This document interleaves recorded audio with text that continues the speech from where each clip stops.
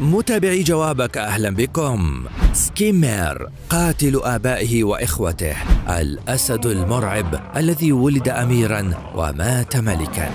هنا على امتداد دلتا أوكافانكو من حديقة كروغر الوطنية في بوتسوانا الغنية عن التعريف حيث تصدح عبر سهولها وغاباتها أصوات الرعب القادم من تلك الوحوش التي تتأهب وتتربص للانقضاض على فريستها. قادها حظها العاثر لتصبح بين فكوك أشد الأسود ضراوة في المكان. من تلك الأسود برز إذا سكيمر آخر الأسود الباقية من تحالف دوبا الأقوياء والتي تتمحور قصته اليوم عن مدى خطورته وكيف قادته الظروف ليصبح واحدا من أعنف الملوك الحاكمة في أوكافانكو. حيث أنه ولسنين طويلة سابقة حكم آباؤه تحالف دوبا وسيطروا على العديد من قطعان الإناث خاصة قطيع إناث سكيمر الذي بدأ الشبل الأمير الصغير حياته ضمن حمايتهم.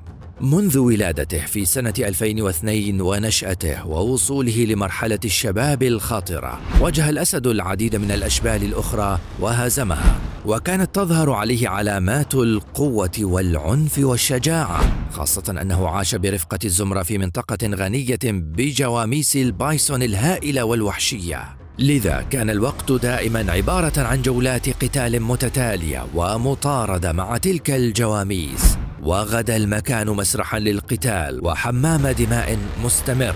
وهذا ما أكسب سكيمر الصغير شراسته وقوته الكبيرة لاحقا. كان نتاج تلك الموائد المفتوحة من الجواميس والقوة المرعبة تربع آبائه على عرش المنطقة وحكمهم لها لمدة وصلت إلى أحد عشر سنة والتي تعد فترة يصعب تحقيقها في ظل المنافسة الشديدة في المكان. إذا فقد عاشوا حياة ناجحة على كافة الأصعدة ولم يجرؤ أي أسد على الاقتراب من مناطقهم.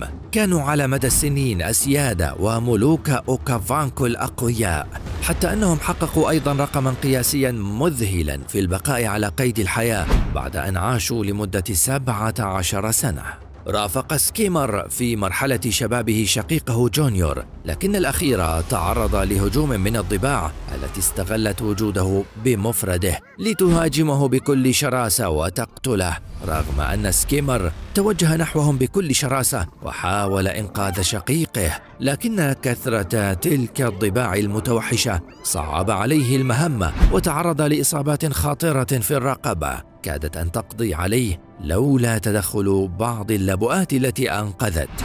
بعد تعافي سكيمر بدأت اللبؤات وعلى رأسهم اللبؤة مادي تاو بتدريبه وتعزيز قوته ومهاراته في الصيد وفي القتال ليتمكن من النجاة والدفاع عن نفسه. كما تعلم الصلابة والبأس والزئير المخيف من آبائه الذين كانوا يرعبون الجميع بزئيرهم القوي الممتلئ في أرجاء المحمية.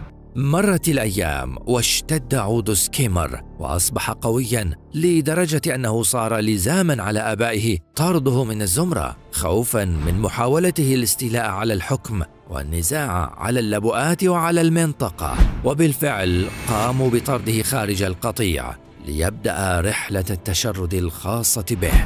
وينجو وحيدا لمدة سنة كاملة قبل أن يقرر العودة بعد سنة مجددا لمكان ولادته. حينما وصل في سنة 2007 لحدود المنطقة بكل شجاعة ثم بدأ بالزئير في وجه آبائه متحديا لهم ومحاولا مواجهتهم حتى يتسنى له السيطرة على القطيع. كان التحدي كبيرا مع تصعيد سكيمر وتوغله داخل الحدود. مع معرفته بوجود تحالفات أخرى أيضا قريبة منه ومن ضمنها تحالف لبعض أشقائه الذين لم يتأخروا لحظة في تجريب حظوظهم أيضا للسيطرة على القطيع. حصلت معركة دموية شديدة انهزم بها التحالف الشاب أمام وحشية سكيمر الهائلة.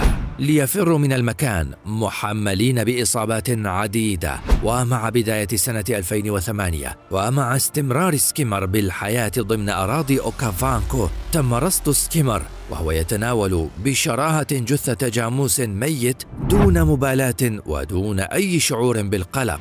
الأمر الذي دفع أحد آبائه للتسلل نحوه ومحاولة الغدر به. لكن وقفت قوة سكيمر الهائلة عائقا بوجه والده الذي لم يستطع أن يجابهه بمفرده.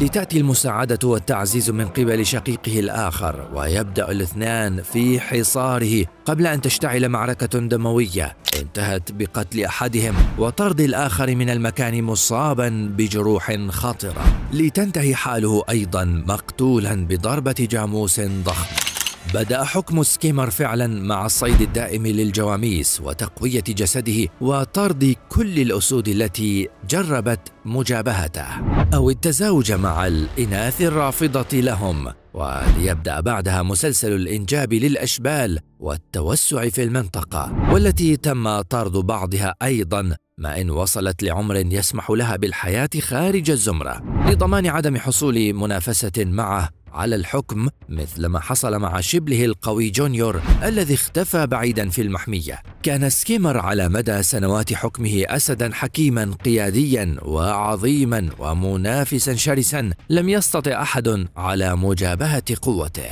والتفت حوله الكثير من اللبؤات التي كانت تسانده في المعارك والدفاع عن الأشبال ضد كل الأخطار المتربصة بهم.